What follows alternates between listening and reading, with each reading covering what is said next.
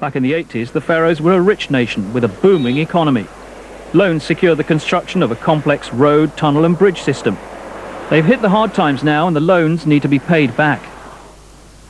Fishing's the largest contributor to the coffers, but fish stocks are now dwindling.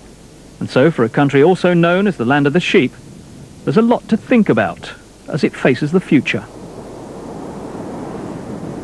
The managers of the Toftir National Stadium have established an unusual way to finance the high cost of maintaining the complex. Within the clubhouse walls, it's opened up a bed and breakfast, which caters for up to 30 people in a sleeping bag hall. Or, more comfortably, in one of the 11 double rooms at the front of the stadium. For real luxury and the ultimate football bedroom, the penthouse suite can be hired with views of the pitch and all the local conveniences within easy reach. Out on the pitch itself, the Russians had arrived and were testing the swirling winds that whip across the biggest fjord in the Faroe Islands. The team was at near full strength with Kyriakov, a rejuvenated Kanchelskis, and Omari Tetradze, the only member of the national squad from Spartak Vladikavkaz, who are running away with the Russian League Championship this year.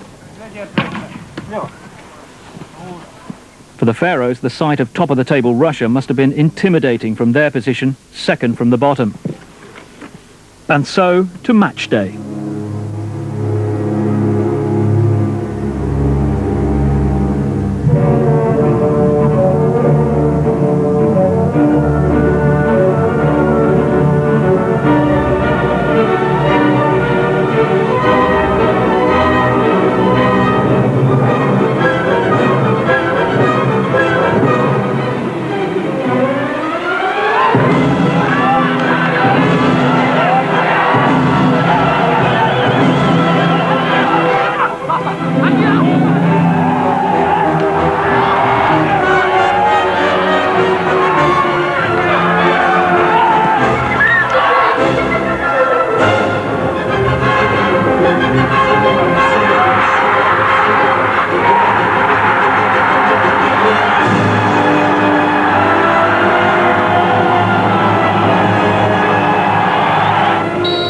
As the Faroes entered the second half, they were drawing one all with their powerful opponents, a dream about to become even more fantastic.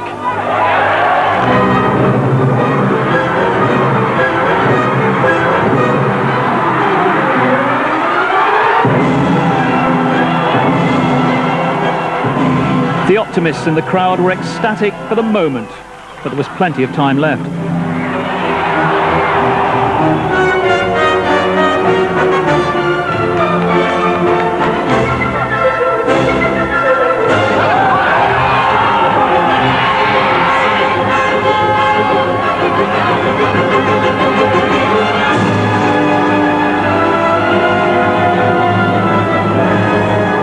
Final score 5-2, but the Faroes had become the first team to score twice against Russia in the qualifiers. Even so, for the man without the bobble hat, it was disappointing. Oh, I feel bad. We gave them a goal to make it 3-2 and then losing the match like that. I'm not very pleased. Basically, the stronger team always punishes the weaker one, and it was a long time for us to hang on. Half an hour is a long time.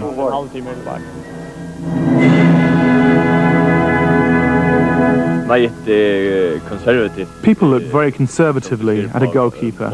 And if I want to go abroad, I feel I have to give up the hat.